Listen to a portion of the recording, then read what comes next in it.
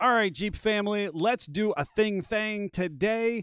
You are tuning in for another marketplace review or a how to buy a used Jeep online. If you're anything like me, I love scrolling Facebook Marketplace, Craigslist, the old paper, you know, the regular classified ads as a kid. I would just, you know, thumb through them as much as possible. And so we're going to be looking through a number of used ads to see what is worth your hard earned dollar. The way this is going to work is the guys on the production side have selected three random ads. There's no rhyme or reason necessarily how they do it. I don't know what they are until we, you and I, the viewer and I, are watching or looking at them together. I'm going to review that ad to see is that a good used vehicle for you or a project? I'm going to give it an arbitrary zero to five star ranking. It could be something ridiculous like 2.7578, whatever. It doesn't actually matter, but we're going to do that on the completeness of the listing, the pictures, the wording, and you know the accuracy of the ad for you the consumer who might be interested in buying a used vehicle. We see them all the time through our physical service facility and we want to make sure that you're getting a good deal for your money. Additionally we want you might be able to learn a couple things about selling your own projects, free up some cash, and buy that next project that you don't need after we rank them arbitrarily zero to five stars, we're then going to rank those three to say what would be the best bang for your buck. And that's purely based on my opinion and expert uh, viewership of the ad itself. So, without further ado, let's rock and roll and see what the guys got for me today. 1950 Jeep Jeepster. 16,995. Driven 13,940 miles, auto transmission. Exterior color is black, interior color is gray. I gotta tell you, a little secret. I've been looking at this one because I think it's really cool. But let's do the ad together. Seller's description one of a kind 1950 Willys with an IES, interesting, Jeepster on a 1993 Oldsmobile Bravada all wheel drive chassis. I'm going to read that again. On a 93 Oldsmobile Bravada. C- come on now. OMG. You know things that we just didn't do swaps onto? We just didn't do Bravada swaps. I mean, I understand that a Bravada is just a glorified like S10 Blazer, but it's an Oldsmobile Bravada. It's not an S10 Blazer, but whatever. I, I, I, I dig it. Old school style with all your modern convenience. Convertible top is manual with all new material. No side curtains, just as original. Garage kept in Arizona for the last 10 years, but just transported back to PA. Two scratches on the passenger rear quarter panel during transport. Leather interior for comfort and style. Great summertime Jeep, like no other, will entertain offers or trades. Uh, okay. Um, things that we could do differently in the listing. We could say who did the conversion. Uh, obviously, uh, when was the conversion done? And uh, maybe a little bit of maintenance history or something specific on either the Bravada or the the Willys Jeepster. But either way, uh, I gotta tell you, the description gets me excited. So let's see how the pictures, uh, if the pictures do it justice, and let's see if we can pick out some things that you know that we can tell from from the the listing pictures themselves. Um, I gotta tell you, first picture. Here's the thing: background stuff like this distracts from the overall Jeep itself. Uh, the Jeep, from my viewpoint here, is gorgeous. So I'm excited to see more at this point. Come in. Here is a telltale uh, chassis swap. Anytime they do a new chassis, uh, I love period correct wheels. These are not. To each their own, but uh, I would have loved to have seen some period wheels or something similar on there. This has more the Bravada wheel but fitment, it's not bad, and it's it's pretty attractive. I love when they say there's two little scratches and stuff like that because then I feel like that person is really trying to accurately uh, convey the true condition of the vehicle. I think I see a little bit of rust right here on the grill. And the other picture I was looking at, I really thought that that was like shadowing. Um, but at this point, I think I think it's like a little bit of rust, and I'm not sure why that would be there. So right now we've got a forward picture, we've got a side, couple side pictures. Now we got the top drop down. Uh, we've got that uh, classically Oldsmobile Bravada interior. Um, not just a car, a way of life dash uh, bumper sticker there. And now they have the uh, the Bravada cluster in here. Uh, it has a lot to do with how the computer integration works. They put the whole Bravada interior in. I gotta be honest, not really my style. That doesn't mean that uh, that there's you know not a car collector out there who uh, you know they might not care. They might not want that originality. You're already looking at this. You're not expecting an original uh, original piece. I like uh, this here and here. Um, if you know what that is, make sure you put it in the comments, right? Put that in the comments if you know why that is there. I know uh, it doesn't really affect the Jeep, but I want to know if you know. Kind of fun piece there. Jeep looks overall clean, and the interior is fun. Am I back to? Okay, I was gonna say I thought I was. I was worried. I was back to the beginnings. This picture looks similar. Um, got a nice car in the background. Um, definitely convertible top. Look at that nice storage piece. Got the Frenched-in taillights. This is n- not an original piece. You are buying this because it's a fun hot rod, and you're going to be able to walk into AutoZone and buy a part for it off of an S10 Blazer or, again, an Oldsmobile Bravada. You're going to be able to service the driveline. And quite frankly, it should be more reliable if the conversion was done well. And we're reasonably back to the beginning. All right, folks. If you've watched any of my other ones, I'm spending a lot of time on this one. I really think it's cool. Uh, it's because I I want a Jeepster myself pretty bad. It's on one of my bucket list Jeeps. Um, lift the hood. Show me what's underneath. Show me what's underneath the actual chassis itself. There's some fun little pieces like there's fog lights Frenched into the factory steel bumper. Tell me about that tell me about the paint. When how how old is the paint? Was there any touch ups done to it? Show me these two little scratches from transport. There's so many more things that uh, can be done. When you show me this gauge, uh, this interior shot, show me the gauges. Turn the key on and let the needles flop around and show me that it works. Show me the miles on it. Those are the types of things that gives me consumer confidence to reach into my my pocketbook and strike that check or hand out that cash. Otherwise, a super cool vehicle, and I know that I'm going to struggle ranking this one later. As far as this listing is concerned, it's so so. Good lighting, um, some other stuff going on. I would have liked to have seen more. This one I'm going to be a little harsh on. It's going to get a, a 3.185 stars. 3.185 star ranking. All right, on to the next one. Let's see what we've got. Oh MG. Wowzers. All right, 1990 Jeep Cherokee SE Sport Utility two door, uh, five hundo dollars, driven 100,000 miles.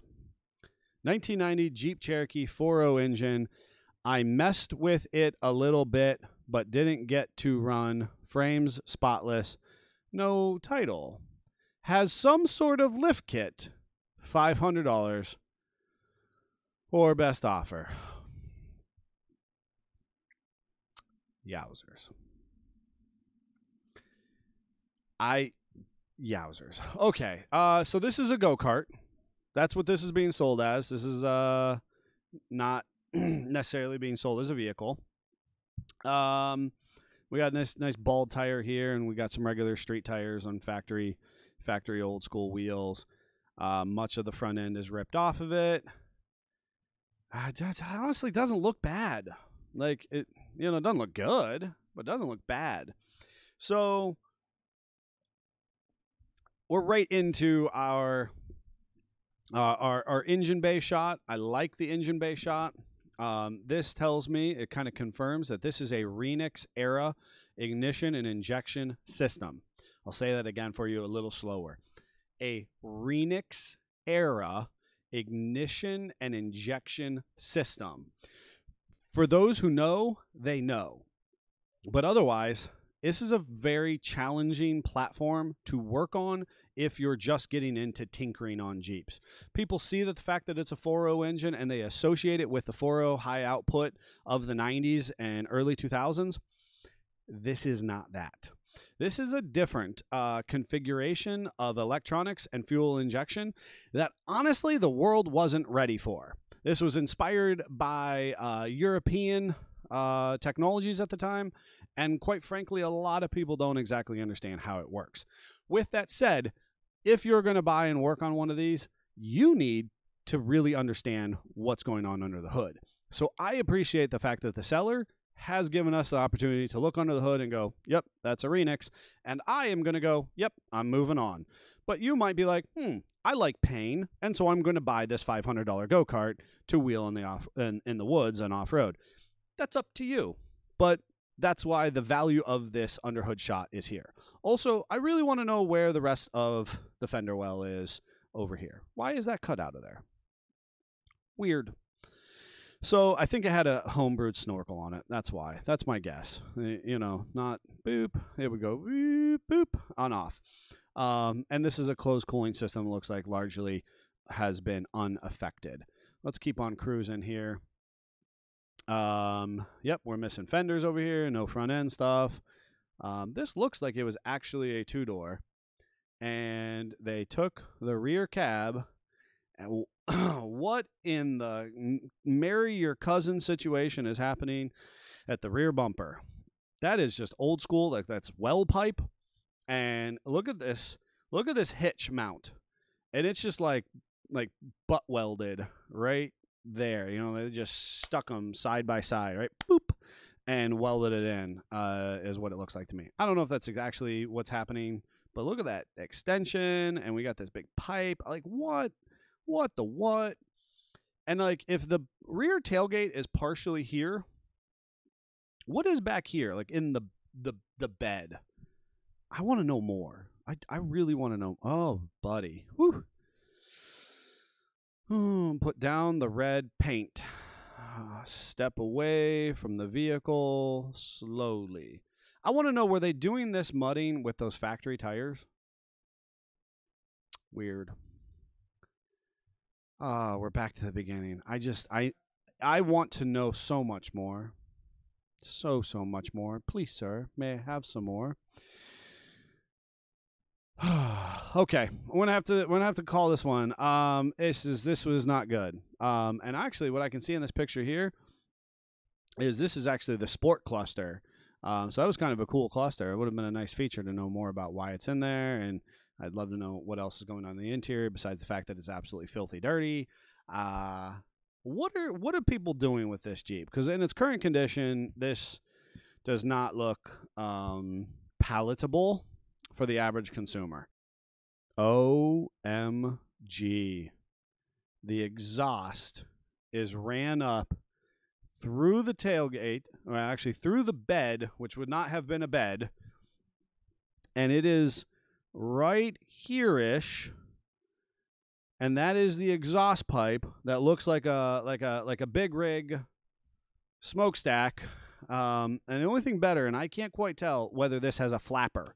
So as you give it exhaust, it flaps and pop, pop, pop, pop, pop. I unquestionably think that they set this thing up to because uh, I think that that big cutout in the in the fender well was for the snorkel. I'll come back around for that here in a second. Yep, there it is. I think that this thing was meant to be buried up to the firewall. There is a reason it doesn't run. Professional observation, because I think I think the water line was about here on it. All right, folks, this listing, eh, we meow, we meow. Uh, we're going to give this one a 1.4. Uh, 1.4 definitely is where I'm comfortable putting it. I want to know more about it. If you really want to sell it, clean it up a little bit, take some different pictures, show me show me this spotless frame Um, and tell me why is there no title? I'm not worried about buying a vehicle that's in 1990 with no title. I want you to tell me why it doesn't have a title. That's what I'm worried about. Also, uh, what have you done to try and make it run? Those types of things make it easy for me to pull out five hundred dollar bills and rock and roll. All right, let's move on to the third and final option. Oh, I got excited. I'm just looking at more pictures of it. 2000 Jeep Wrangler Sport Utility two door. This looks normal. When do the guys give me normal stuff? I like this. Driven 186,000 miles. Exterior color blue, interior color brown. Um, usually I, I hear it called tan, but brown is fine. Seller's description 12,000 or best offer. Have matching spare and third bright light brake light for inside tire.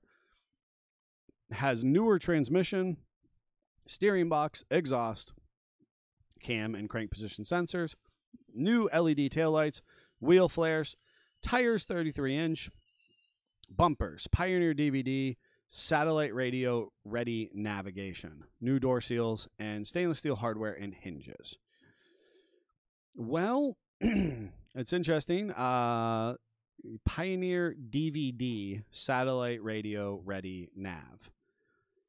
That's a mouthful. I don't know that my Wrangler needs that, but it's interesting nonetheless. It's a good looking Jeep start, starting off. So let's see if it's uh, if it's worth twelve thousand dollars. I just love this is like taking a picture in a mirror. Like what is this person's body doing? Like all what how is this foot in like that? So what what is going on here? Those are nice looking General Grabber ATs. I like that tire. It's a good looking Jeep. This is uh if you were around in the TJs, this is kind of iconically what a TJ looked like and how it should operate. Um just uh we got the uh, Amazon rear bumper here. Um says he has a full size spare, just not on it. Got all of the stainless hinges and whatnot. Very cool. Those are interesting taillights. Um, all right, so now we're getting uh, under the chassis shot, and this is the kind of stuff. This is the money shot, as far as I'm concerned. Buying a Wrangler, this has got to be a priority for you. This is scaly here, but looks pretty solid. Looks like somebody came in and tried to rattle can this black some. We definitely have some rust going on here, um, but not the end of the world. Decent pinion angle. Pinion seal's leaking a little bit, but again, all things to be expected with a you know, 23 going on 23 year old Jeep. Honestly, we've seen worse and for not a lot less money, so this is a pretty good option so far. Um, going just standard. Oh, there we are. That is a front end. That is an Angry Grill. Um, another Amazon bumper on the front. I I always love the Euro clears as the turn signals. I'm here for it and they have obviously more than appropriate fender clearance uh, with the flat extended flares. This is a clean little Jeep, uh, nice little cruiser. Is it worth 12G? Um, I would love to see some interior pics of that brown interior. Uh, the gauge cluster going. Obviously, you're showing us that there's nice fresh tires. You know, you don't have to buy tires for it.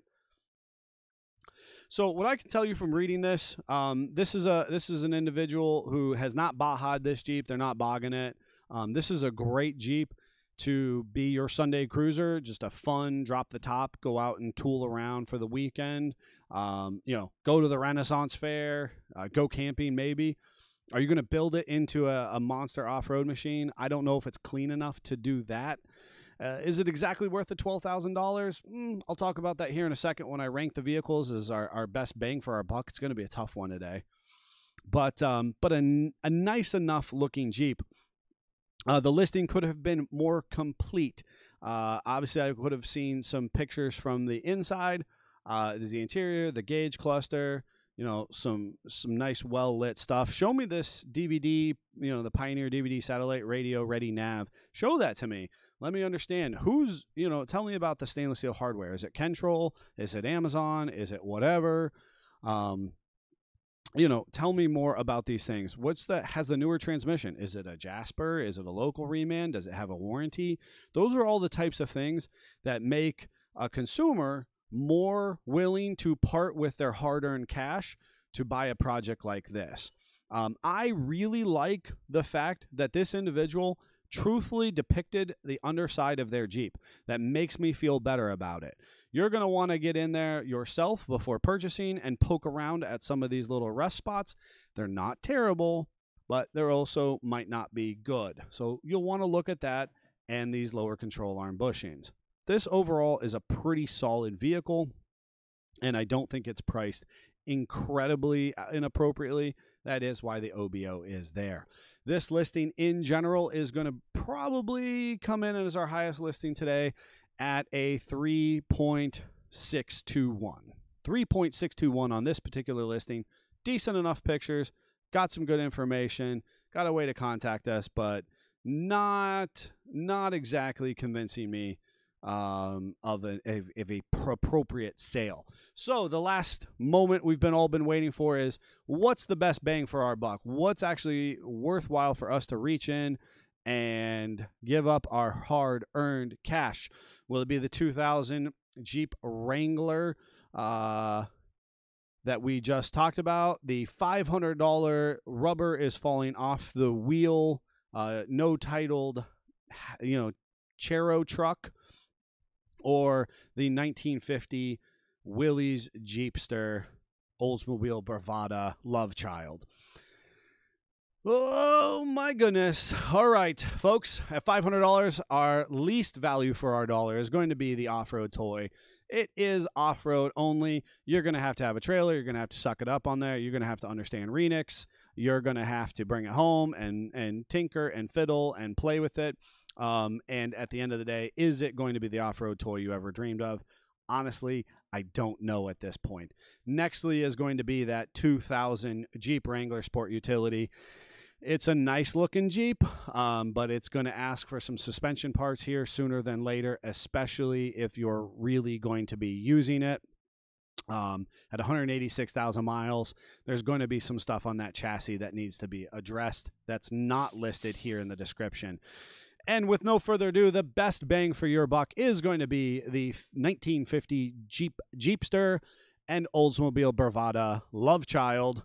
It's just cool. It's unique. I'm willing to bet that the the seller is able to wheel and deal a little bit on the price point. If you're looking for a classic hot rod that you can kind of get in, yeah, you're going to have to understand a little bit of what that previous person did to marry these two together. But I got to be honest with you, you can't pay somebody to build this for you at the price that it's listed at. Automatically, the best value for your dollar. All right, Jeep family, I hope that you enjoyed this content. Make sure you like, subscribe, ring the bell so you know uh, when we have more videos to upload go on to the rest of our youtube page and you know tool around figure out there's some cool stuff on there. Lots of neat content.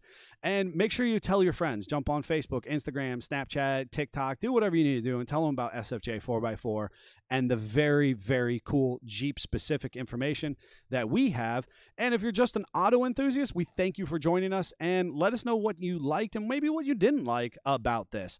So until next time, Jeep family, Jeep on. Bye.